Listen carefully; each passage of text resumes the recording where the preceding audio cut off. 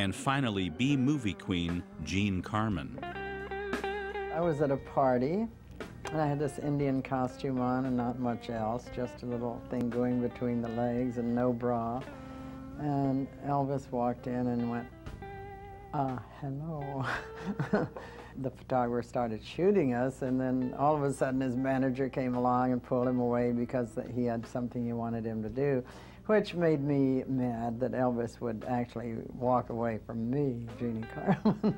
the first day I went to meet him at, at his hotel, and I was sitting in, in a chair, and he was sitting in another chair opposite me, playing the guitar, and all of a sudden he stopped and said, are you wearing any panties? But I'm not the only one he asked that. That was his favorite thing to ask any girl he was with. And of course I wasn't. Well, I cooked southern fried chicken for him, just like his mother. And he brought me a present one night when I was cooking the chicken, and I thought, oh, he's gonna, you know, get me an outfit. I opened it up, it turned out to be an apron and nothing else, just a little French apron, so I put it on with nothing else on.